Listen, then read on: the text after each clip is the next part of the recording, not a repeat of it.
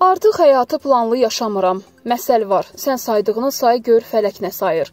Bu sözləri müğənni İbrahim Borçalı Zaurla Günaydın verilişində deyib. 2 ildən çoxdur avtomobil qəzasında övladı həlak olan ifaçı ardıcıl vəfat edən dostlarını da xatırlayıb.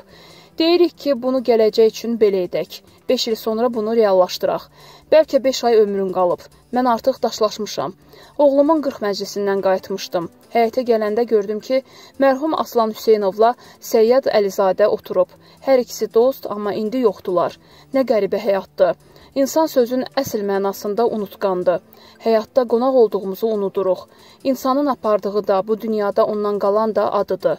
Pul, vəzifə boş şeydir.